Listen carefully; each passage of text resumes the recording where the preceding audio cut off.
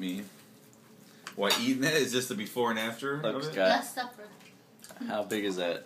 Uh, according to according to the gentleman sitting next to me here, Tim, he says it's roughly 30 ounces. And I don't doubt it. Probably a good 28, 30. I got two pounds of meat right here. Uh, Eight bucks. That's a lot. I'm gonna make sure that uh, I chew it well, so only a pound comes out.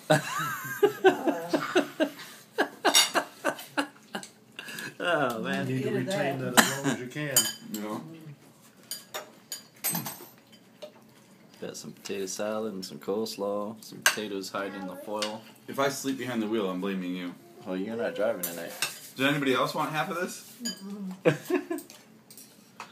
How's it going, Ben? What you got? You got some steak in there? Yeah. Yeah. Yeah. Potato salad's already gone. I can see it from here. It's gone. You can say you have an alien in there, and they'll say yeah. Mm-hmm.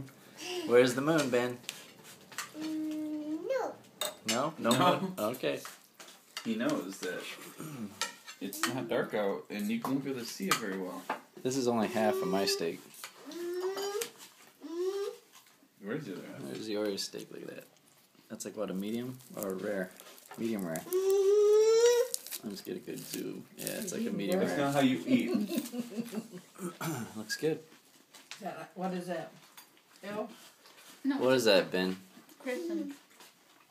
What is that? You don't put Yes. no That's what he was doing. This You're morning. piercing? Couple napkins. No, crescent. Oh, When I Gary, eat, can you, I can you give me that uh, paper towel?